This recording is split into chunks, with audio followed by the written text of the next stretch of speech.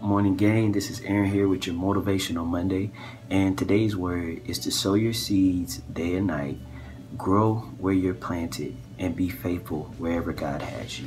The book of Ecclesiastes encourages us to sow our seeds day and night because we don't know what's going to prosper us. If the ones we sowed in the morning are going to prosper, the ones we sowed in the evening are going to prosper, or if they both will be equally prosperous. But it encourages us to sow our seeds day and night. And so God has given us all different seeds. He's given us different talents, abilities, giftings, resources, even our finances.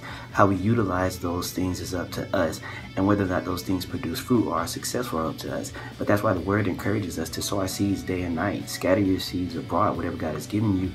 Use it, invest in it. You don't know what God is going to use to really bring about some type of manifestation or of a promise into your life. The other thing I want to say is to be faithful where you are, grow where you grow where you are planted. Wherever God has you at at this point in your life, there's a level that you can take what you're doing to another level. There's a way for you to take what you're doing to another level. And that comes from being faithful. It comes from being consistent. And it comes from not despising small beginnings. Don't take where God has you as being too small for you to grow. God brings you to different places for different reasons, and it's our job to really seek out why He has us in a place and then to make the best use of our time in that place. Sow your seeds in that place wherever God has you.